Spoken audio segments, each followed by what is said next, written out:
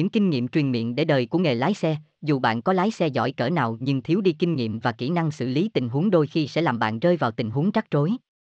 Sau đây là những kinh nghiệm để đời trên đường bạn cần biết để tránh được nguy hiểm cho mình và người tham gia giao thông. 1. Lên số nào, xuống số đó, quy tắc khi đi đường đèo, không chỉ áp dụng cho xe số sàn mà cả số tự động. Khi lên dốc cần đi ở số thấp để tận dụng lực kéo, ngược lại khi xuống dốc cũng về số thấp để phanh động cơ ghìm xe đúng tốc độ. Nếu để số cao đổ dốc, xe theo quán tính trôi xuống rất nhanh, độ bám của lốp xe giảm, tài xế phải rà phanh liên tục, có thể dẫn tới nguy cơ mất phanh. Hai, Đầu xuôi đuôi lọt, đây là nguyên tắc khi vào đường hẹp.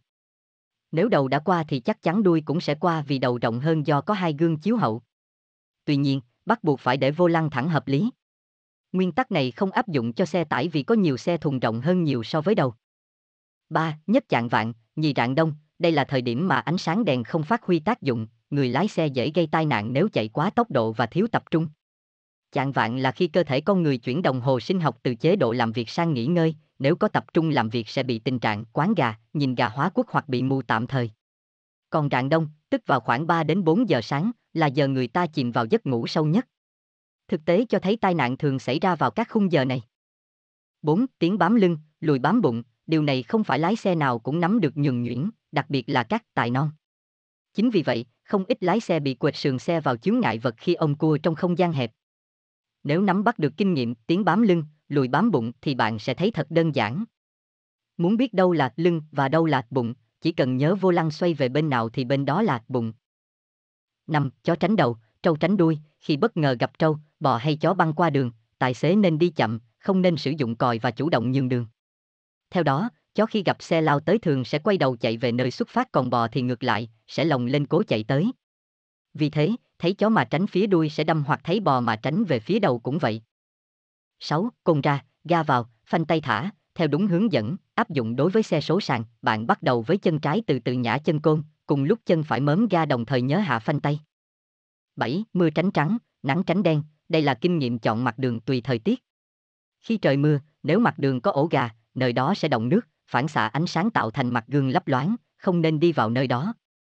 Khi trời nắng, mặt đường sẽ sáng đều, những nơi tối, đen, hơn có thể là ổ gà hoặc có chất khác đổ trên mặt đường, nên tránh. 8. Buông chân ga, qua chân thắng, tài xế mới luôn phải nhớ trong đầu, bất cứ khi nào không ga, phải chuyển sang để lên chân thắng, khi cần thiết sẽ đạp thắng được ngay. Thói quen này nên tập bằng cách đặt cố định gót chân phải, xoay kiểu chữ V di động giữa hai bàn đạp thắng và ga. 9. 3 giây xanh thì bỏ, 3 giây đỏ thì đi, 3 giây đèn đỏ, không giúp chúng ta nhanh hơn, trong đời thường, đặc biệt trong việc tham gia giao thông, 3 giây đèn đỏ chỉ khiến chúng ta rơi vào những hiểm họa tiềm ẩn. Chúng ta có thể bị phạt nếu phía trước là anh cảnh sát giao thông yêu nghề, chúng ta có thể bị tai nạn nếu đằng kia cũng một người tranh thủ hết tốc để kịp dây đèn vàng. Sâu xa, chúng ta thành thói quen xấu khó bỏ, mặc lợi, chẳng có gì, muộn 3 giây vẫn được vào cơ quan không bị phạt, vẫn được vào thi, vẫn kịp online Facebook bình thường, vẫn không bị người yêu giận dỗi. Ấy vậy nên tranh thủ kiềm chế, đừng rồ ga, đừng bấm còi in ỏi khi còn 3 giây đèn đỏ, hãy thể hiện mình là người có văn hóa giao thông. Trân trọng thời gian một cách chính đáng. Chứ không phải cấp chỗ này, phí phạm chỗ kia. Đừng đánh đổi 3 giây đèn đỏ lấy tư cách và tính mạng của mình, đừng nên cố gắng chạy đèn đỏ khi sắp hết số giây, nhiều khi chạy nhanh quá chưa tới ngã tư đã va chạm với ông nào đó rồi, vì cùng vội chạy đèn đỏ. Cứ bình tĩnh, hụt một hai cái đèn đỏ cũng không làm chậm lộ trình đi bao nhiêu mà rất an toàn cho bản thân và những người xung quanh.